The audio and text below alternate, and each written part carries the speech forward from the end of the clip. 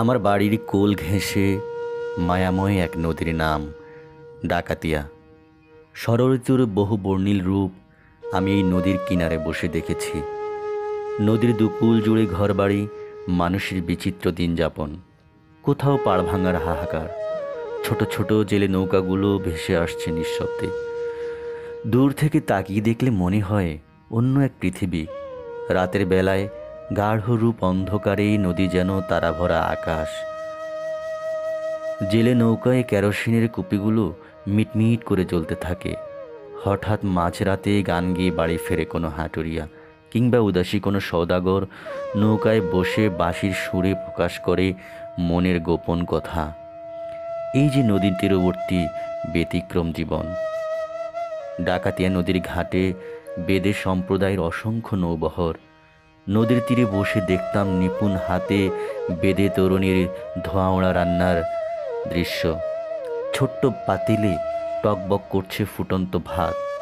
এসব দেখে দেখে সন্ধ্যার আগ মুহূর্তে বাড়ি ফিরতাম। মায়ের বকুনি খেয়ে হাত মুখ ধুয়ে পড়তে বসতাম। কিন্তু আমার চোখে ভাসে বেদে সম্প্রদায়ের নৌবহর আর সন্ধ্যার প্রিয় নদী ডাকাতিয়ার সন্ধ্যা প্রহর এই নদী আমাকে দিয়েছে কবিতার অলৌকিক আনন্দ ভার। দিয়েছে কবিতার অনুভব। প্রিয় ডাকাতিয়া, তোমার স্মরণে পড়ছি আমার নিজের লেখা একটি কবিতা, নাম জল ধোয়া দেহ। অচঞ্চল জলের ভাষায় ডেকেছিলে কবে? মনে নেই, আঁকা বাঁকা ঢেউ। মনে নেই, ডেকেছিল কেউ। অচঞ্চল জলের ভাষায় ডেকেছিলে কবে? মনে নেই জলের বুদবুদ, মনে নেই জল ধোয়া সুখ। অচঞ্চল জলের ভাষায় ডেকেছিলে কবে? মনে নেই জলজ জোয়ার, মনে নেই জলজ বিহার। তারপর জলবাসের আশায় ফেনাইত দীর্ঘ ভ্রমণ, গাঢ়তর গভীর রমণ।